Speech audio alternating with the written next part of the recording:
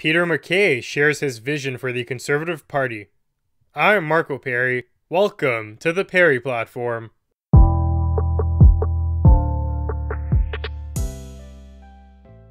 As you guys probably already know, the Conservative Party is in a state of flux. They're trying to find a new leader to replace Andrew Scheer. Andrew Scheer is still the interim leader, but they're trying to get rid of him. There's a bunch of people who want to take over leadership, and one of the more popular candidates is somebody called Peter MacKay.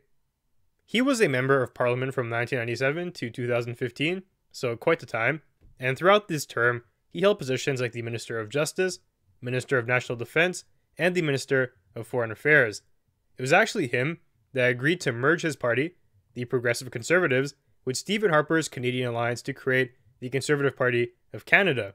Not a lot of people know that. Harper and MacKay were instrumental in creating today's version of the Conservative Party by amalgamating these two different factions into one.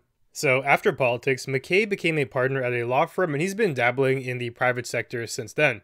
Then, all of a sudden, in 2020, he came out and said, hmm, you know what? I think I'd make a good choice to be the new conservative leader. I kind of played a part in creating this party, so why not me? And I'm going to be perfectly honest, right now I'm not enamored with any of the candidates. They don't seem to be that special to me. It feels like we're going to get a repeat of the Andrew Scheer debacle, but I digress. So, MacKay, aside from his lengthy political resume, he also comes with some baggage. There's been some rather questionable practices that he's undergone during his term as a politician. For example, in 2010, he was accused of inappropriately using public funds. For what? Apparently, he took a military helicopter to a private fishing camp. So, to go on vacation, he didn't want to pay airfare. So, he said, Let me call up the Canadian Armed Forces and borrow a helicopter. Obviously, that's bad.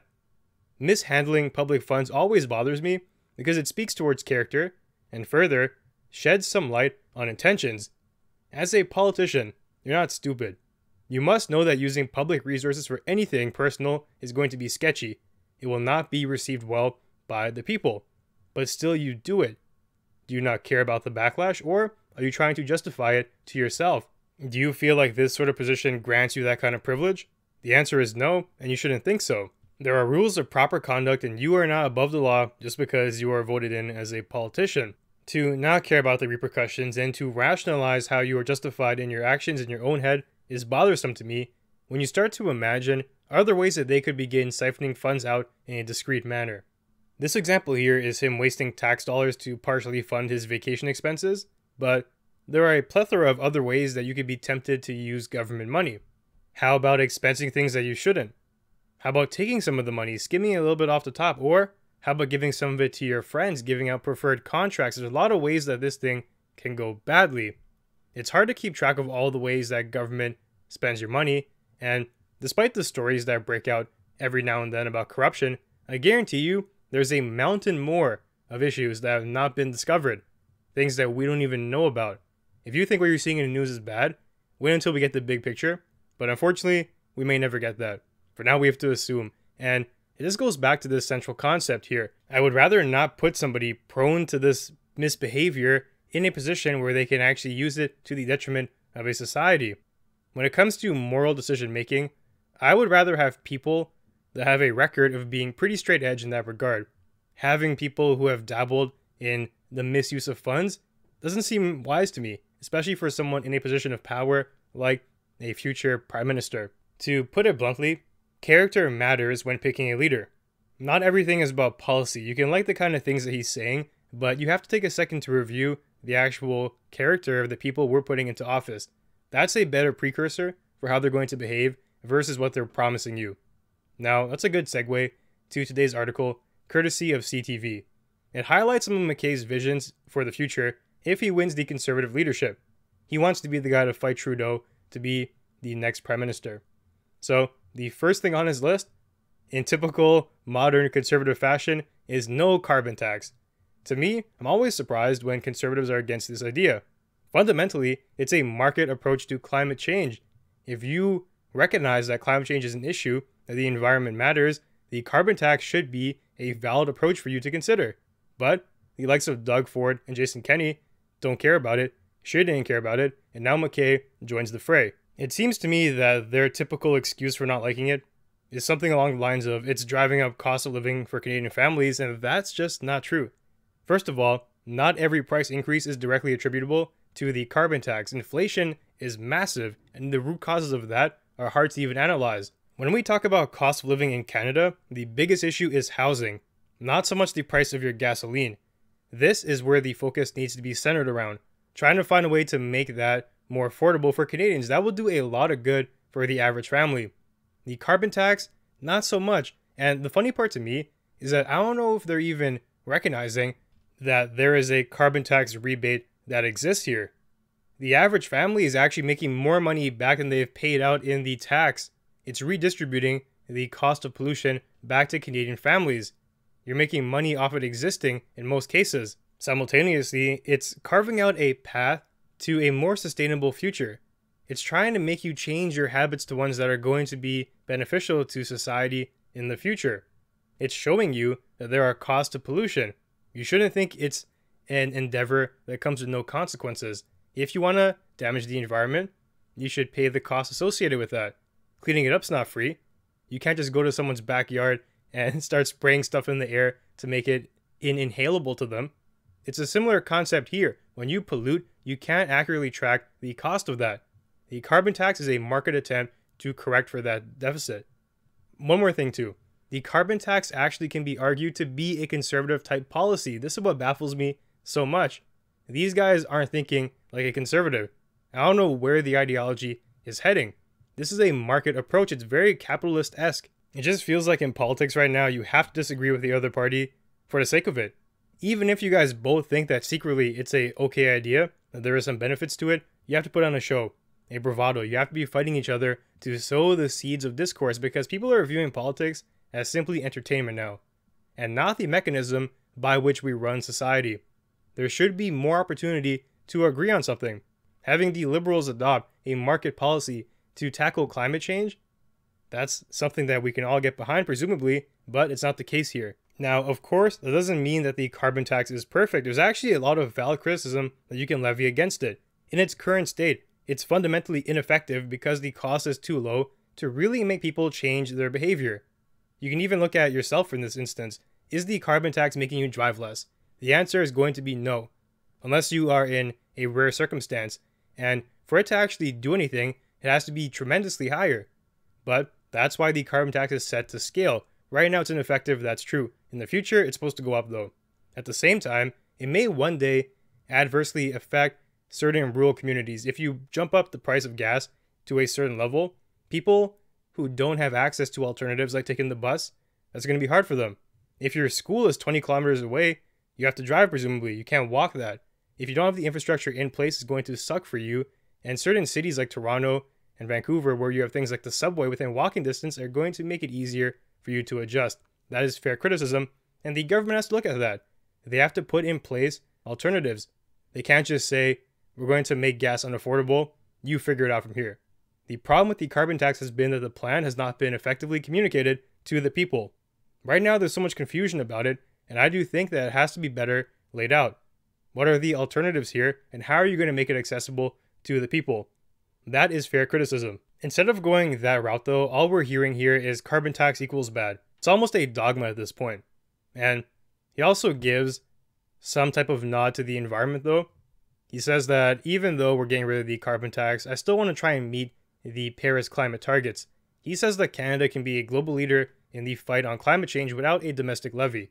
Here's a direct, direct quote that summarizes his stance.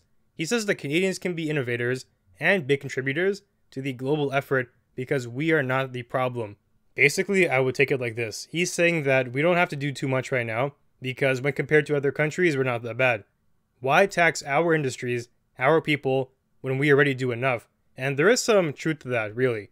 If you look at global emissions, the Ivy Business School cites that Canada accounts for about 1.6% of all of them.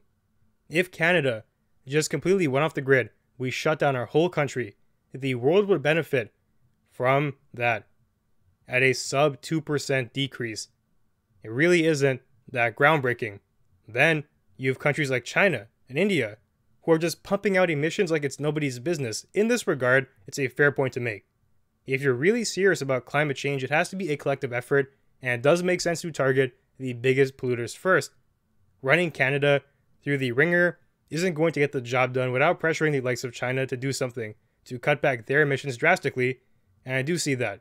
My response, though, is that, well, I still do support the carbon tax because it prepares us for the future.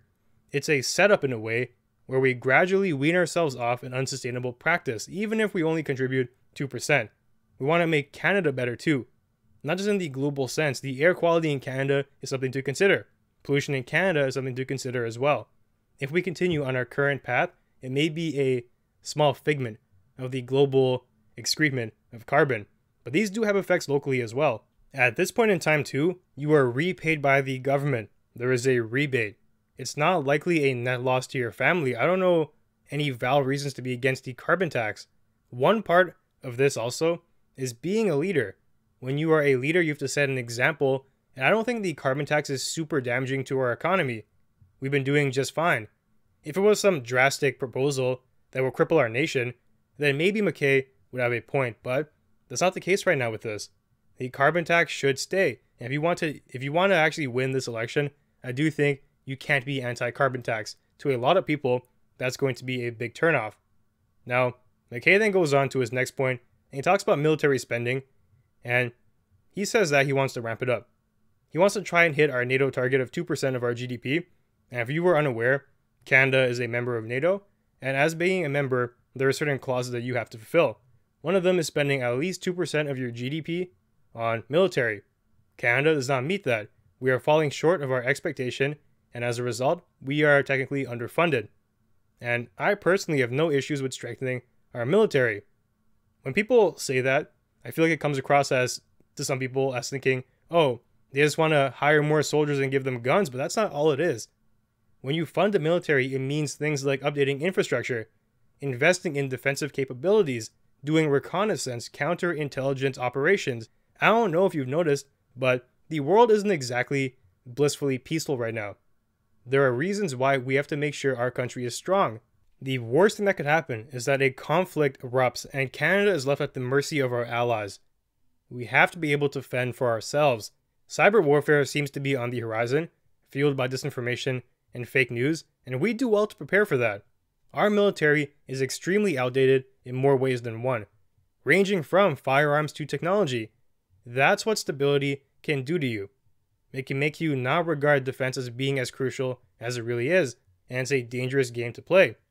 Now, I'm not saying that we have to fight wars per se, but investing to keep your power levels adequate in case something does happen, well, that's just appropriate. And next, MacKay moves on to medical assisted suicide. His main point here is that doctors shouldn't be forced to perform the procedure if they don't want to. And basically, this whole thing is saying that if someone is terminally ill and they want to end their life, they should have that right. And as far as I understand, MacKay is not fighting against that. What he's saying is that the doctor can be against effectively killing someone because they might suffer from trauma from doing that, might be against their beliefs and whatnot, and he wants them to be able to opt out. I'm not really sure how I feel about this. The entire topic hasn't been something that I've thought about a lot, but it does seem to be a fair point. You can likely find another doctor who will do it, you can get a referral, as long as access is still there, and it's more a matter of consent from the doctor, it seems reasonable to me. If anyone has a counterpoint to that, I'm open to hearing it. Then finally, they move on to French as a language. People are calling on MacKay because he is supposedly an inefficient French speaker. He responded by saying that he's just out of practice. He hasn't spoken French in years now, but he can work on it. And people are saying, well, yeah, if you want to be the potential Prime Minister of Canada, you should speak both of the official languages, and I think that's fair. But overall, the article was quite interesting, and it makes me wonder how will Canada respond to someone like MacKay? Better than Andrew Scheer? I'm not really convinced that's the case. I think that the anti carbon tax stance might sink him in some significant portion of people's minds, that's not a battle that you can fight and win. I think it's a losing stance to have as a conservative leader, and at the same time, I think the issue is even more fundamental than that. This the name Conservative Party comes off as being too old fashioned and not in flavor anymore. People aren't excited or proud to be supporting that party. If I was trying to be the leader of this party here, I would actually launch an entire rebrand. I would change the name to something like the Future of Canada Party, whatever whatever comes to your mind, whatever tickles your fancy. But you have to get rid of these notions here. The party has been the victim of some very negative reputation images. They've gone down the route historically of being slow to adapt to these social changes like climate change, and people aren't a fan of that. If you really want your party to be super competitive, I think you have to move to be more centrist. And when you're in the middle, you rebrand, you put in a leader who still has some conservative values, but they're more progressive minded. The centrist perspective, I think, is actually the future, and that's one of the reasons why I advocate for it. If the Conservative Party wants to win in the next election, that is how they should move right now. People don't like Trudeau per se. It seems like they just don't want a conservative leader in power due to certain reasons. They feel like the environment will not be handled properly. They feel like there'll be too many cuts. They need somebody who won't do that. You can still have your conservative core principles like liking the markets and whatnot, but you have to respond to the community right now. At the end of the day, it really shouldn't even be a left versus right ideological conflict. It should be who has the best ideas here, and having a two party state like Canada really does a disservice to this notion here. You're kind of forced to take the opposite stance and fight people, but I think that's not good for the country. It should be logical policy, rule supreme, wherever it comes from. Trying to disassociate with these stigmas of your party is the best way to go forward. And I don't really know if MacKay is that guy. I actually don't think he is. On top of that, I don't know what makes him stand out. The experience, maybe, but it comes coupled with his scandals. Once again, it seems to me like it's Trudeau's race to lose. That's the way it'll go. People are more likely to vote Trudeau out of office than to vote MacKay in, so to speak. So, in other words, Trudeau is the X factor here. If he sucks and continues to displease Canada, people are going to get rid of him and go to the alternative. It's not so much that people will be enamored by MacKay and really want him in office. It's a big distinction to make. And that's how it feels to me right now. So, that now brings me to the end of our conversation for today. If you enjoyed the content, be sure to leave a review and share. They'll help us grow. And you can find me on Instagram and Twitter at Perri Platform. Thanks for joining me, and I'll see you soon.